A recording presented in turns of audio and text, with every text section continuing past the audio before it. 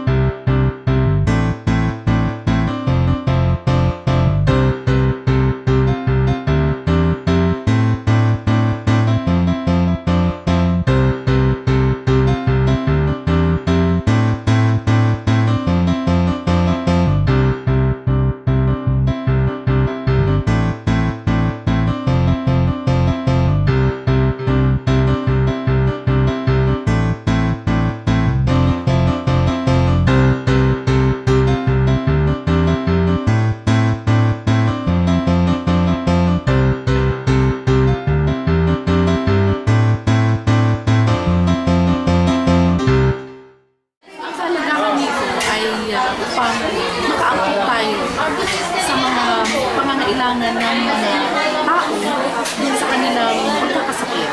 At ano na rin, uh, prevention na para hindi lumala yung maagapan na agad ang mga doktor sapagkat uh, salat ang uh, ating mga publikong ospital sa uh, public health uh, services.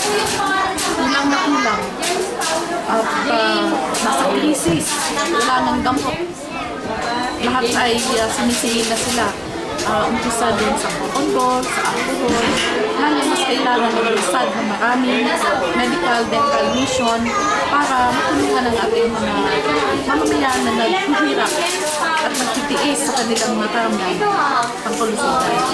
Hindi kasi may nagsabi na tanod, meron daw dito, yung bayan muna daw yung magbibigay ng medical service na libre. Kaya yun, pumunta agad ako para makalibre ng gamot. Siyempre, sulit kasi ako single parent.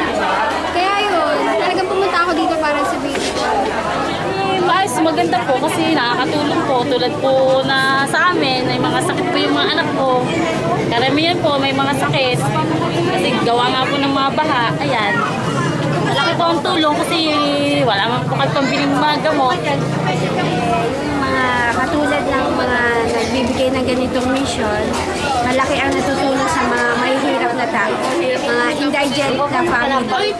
No, wala kami pambili ng gamot at wala rin kami pambayad sa private doctor. Kaya pila na rin dito. Ang unang-unang sakit na ano na nakita namin ay ang kulang lang talaga sa nutrition.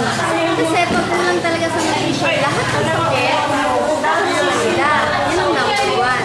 Kaya kung kulang sa nutrition, madalas yung bata uma-absent dahil may mga sipon, may lagnat, may ubo, may trangkaso. Ah, kahit man lamang sa ganito ay makatulong kami sa ating mga kababayan. Kasi talagang, although hindi namin ma-reach lahat, at least nandito kami para makai maibsan yung kanilang mga sakit, kanilang nararamdaman. Ah, Siyempre, ang, pa, ang layunin namin, ang bayan muna, ang makatulong sa mga ah, marayita na hindi naman naaabot na naaabotan ng tulong pang kalusugan ng ng na kanilang nasasakupan. Kaya naman naglusad naglusad ng mga ganitong proyekto para makatulong. Lalo na sa mga pang mga mahihirap na hindi naman